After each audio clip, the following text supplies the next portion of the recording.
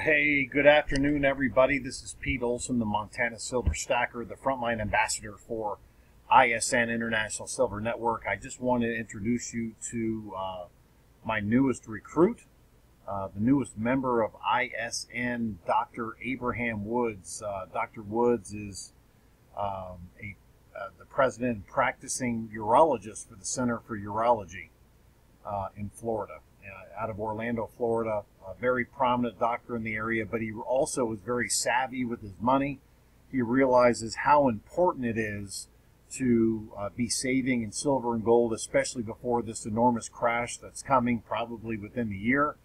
And uh, he's just excited to build an enormous residual income with ISN and also to uh, stack thousands of ounces of silver and gold. So uh, it is a pleasure to have you, Dr. Woods. So so great having you, and, and I know you're going to be a big leader in the company.